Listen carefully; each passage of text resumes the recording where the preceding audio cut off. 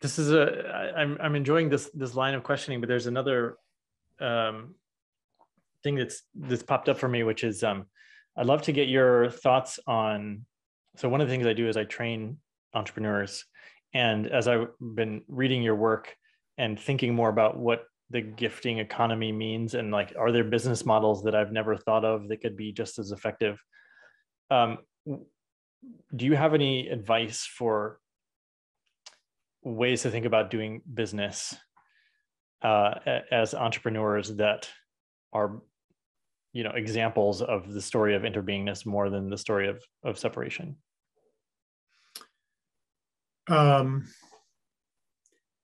yeah you know I'm, I'm actually i've been contemplating writing an article on this um uh, business in the gift. Because mm-hmm. it actually is a viable business model I, I use that business model. Um, like I have a Substack, and you know, a lot of people on Substack, not everybody, um, because a lot of people get this actually, but a lot of people, like the, the classic business model is you put some stuff on for free and then other stuff behind a paywall. Yeah. And the idea is if you want, you know, this good stuff, well, I'm going to keep it unless you pay me for it. Like that, it's kind of an adversarial relationship. And I don't do that. I just put it all on for free. And I say, if you would like to support me, then, you know, get a paid subscription or donate on my website. But I don't compel people to do that. I trust what I have noticed in myself, which is if somebody gives me a gift, I want to give them something in return. Mm-hmm. Like, like I subscribe to some very popular people on Substack, like Glenn Greenwald, Matt Taibbi. They've got tens of thousands of paid subscribers or more. They don't need my money, but I want to give them money. Like when Radiohead released an album like this, I think it was um, in Rainbows or whatever back in 2007. They they were like, okay, you know, all this electronic music downloads, we're just going to put it out there for voluntary payment. Yeah. And it's not like Radiohead needed the money, but I'm like, yeah, I want to give you guys some money because this album rocks, you know, this is great. So, so this I've noticed this in myself. Like I want to give to those who have blessed me. So, if I, I think that that so I, I do this for online courses. In fact, there's an online course that I have called Living in the Gift that goes really deep into because there's so much psychology and so much wounding comes up when you try to offer things by gift and then people take advantage of you you know and then you realize, oh, maybe I wasn't fully in generosity and trust to begin with. Mm. So there's like it's a whole it's a whole journey, um, and so that's why when people try it, sometimes it, it doesn't work because maybe they're still putting some manipulative energy into the ask. So it's so it's what I'm saying is that yes, it is a viable business model, but it's not trivial, mm-hmm. and it can work for content creators of all kinds, musicians. It can work for software. It can work for film. It can work for, for pretty much any, any digital product. Non-digital products, that's a bit more complicated because the cost of production is non-zero. For me, like the cost of producing the first copy of an essay, I mean, that's, you know, days or even weeks of labor the second copy costs me nothing. Mm-hmm. And the third copy, the marginal cost of production is zero. Therefore, there's no natural price point. And the only reason that people can charge for such things is that they maintain artificial scarcity. Digital rights management, copyright, you know, paywalls, artificial scarcity. And and like there's enough scarcity in the world already. Why why create more of it? So I, I really think that this is the business model of the future. Um, was there anything you didn't expect uh, when you first implemented that? Anything you were surprised by? Um,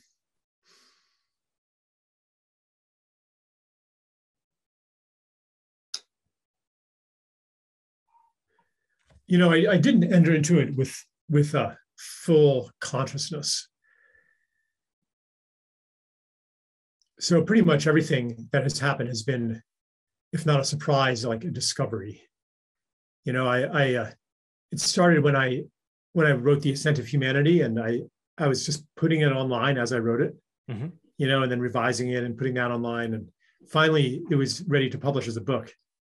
And this website that I had built myself, you know, from this was back in the early 2000s, you know, from like, you know, from like the style sheet on up, I just build it myself. Yeah. I'm like, oh man, now I got to take it down, you know, because otherwise no one will buy the book. I'm like, no, I just, I don't care. It's too beautiful. And I don't want to make people pay. And besides, I don't really believe in intellectual property to begin with. Like, that's another thing. Um, but anyway, so I, I put it online. I mm-hmm. kept it online, you know, and, and like maybe people will buy the book anyway. And that's kind of what led me to do more and more things in that way. And yeah, part part of it also was I'm putting this out for people to read, not to like make it hard for them to access it. I want them to read it. And it's sacred to me. And where did it even come from? Where did these ideas come from? Did I actually make them or did I receive them? Mm-hmm. They're, they're part of a, of a cultural and intellectual context. They come from many, many conversations and many, many books. And from my own capacity to think, which was given to me by my mother, by my father, by the world that made air and water and sunshine. Like, in a certain sense, my life itself is a gift. My ability to do work is a gift. My ability to think, my ability to write, like everything that went into my creation came from somewhere else. So it is by nature a gift and that's so that's another reason why I, want to um, maintain it as as a gift, and you know I trust that that the return gift will come, and it, and it has. Mm-hmm. Yeah, it is. It's a viable viable business model. Yeah, thank you for sharing. Um, yeah, I find myself, you know, I, I want to move in that direction and i and i on some level intellectually understand the like the reciprocity of of all things and uh i have a great ability to you know charge uh, a nice fee for my for my coaching and that's like such a yeah. juicy uh thing also um yeah i'm not saying like that you shouldn't do that you know it's again like trusting what really feels right. Like there's a lot of good reasons to charge money.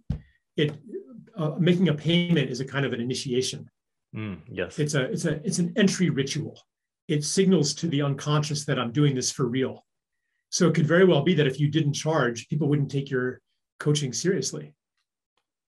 Like, well, I didn't pay for it. You know, I can just take it or leave it. Maybe I'll come late to my session. You know, I'm not going to do the homework. But if but if they're making a payment, they're affirming to their unconscious mind that this is important. I hold this valuable. Mm, that's so really I'm definitely point. like like the reason to do gift economics isn't so that you qualify as a good and virtuous person. Yeah, I think where I'm coming from is something I hear a lot in the coaching industry of like I you know, it's coaching is great for people that have the resources to pay for it and you know, I find myself wanting to supply it to people that don't have the money at the time in a lot of yeah. in a lot of senses. And maybe you do that sometimes too. Yeah. Yeah.